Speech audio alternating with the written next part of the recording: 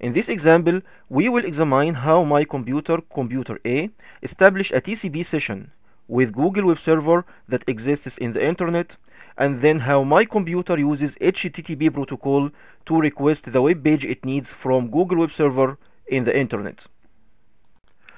My network consists of several computers that are connected to router's interface gigabit Ethernet 0 over 0 using a switch.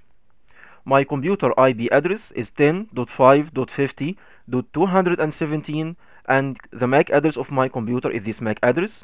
The router's interface MAC address is 10.5.15.50.1 and the MAC address of router's interface is this MAC address. First of all, we should open our web browser and go to Google website. Then let's go to Wireshark to see what it is captured.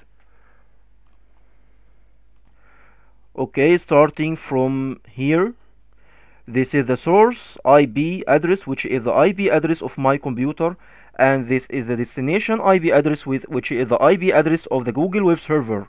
First, my computer is talking to Google Web Server using TCP protocol, telling him that, please, I need to open a session with you. Then Google is talking to my computer using TCP protocol, telling him that, okay, I am ready to open a session with you. Then you will find that my computer is talking to Google Web Server using TCP protocol, telling him that, okay, the session is already opened. Let's start sending data. Then you will find that my computer is talking to Google Web Server using HTTP protocol.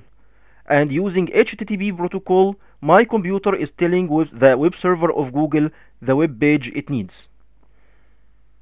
So we observed that my computer first opened a session, a TCP session, with Google Web Server and then used HTTP protocol to request the web page my computer needs. Those three TCP packets from my computer to Google Web Server then from Google to my computer, then from my computer to Google are called three-way handshaking. And this is why TCP protocol is called connection-oriented protocol.